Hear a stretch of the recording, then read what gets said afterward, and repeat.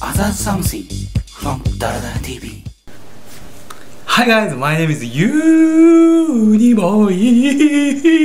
Other something やってまいりました。えー、もうね、題名にあるように、ね、皆さん知ってる暴れん坊将軍って八代将軍、徳川吉宗だから。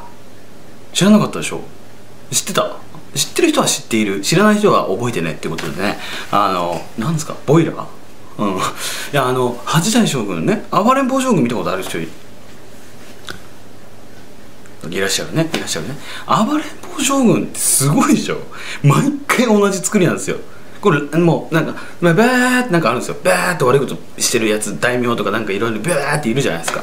だけどその最後ね最後もうもうね徳田新之助がねうん。お俺は徳田新之助だ。うん。定すっつってね。うん。あの徳田新之助さんがあのまあ要は吉宗なんだけどそのこう来るわけだよね。大名のところにこうガッと。してお前の悪いことしたのはこうもうああじゃあ俺の顔に見覚えがないかって言うんですよ。私の顔に見覚えがないかっつって。そしたら悪い大名とかがその何ですか？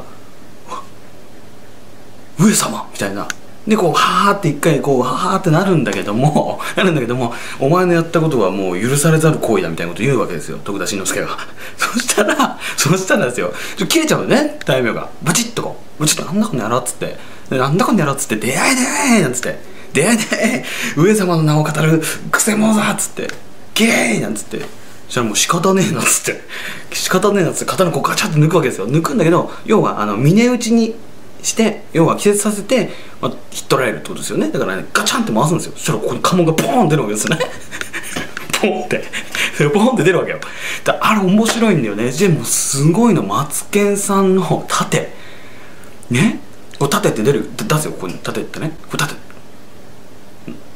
殺す陣とかでこう盾って読みますから。ね。これ盾で盾がもうバシバシってこうバババババババッつってこうむちゃ速いんだねむちゃ速いのすんごいいっぱい来るわけだから敵が敵がものすごいいっぱい敵ね敵っつうかなんつうのなんつうのあれうーん大名に使えてるやつだね敵がグバーって来てうわーって来てガンガンガンガンガンガンつってガシャンってやった後に何ですかこういう感じでガシャンガシャンってやった後にカーンって言うんですよ音があれ必要あれすごいよね。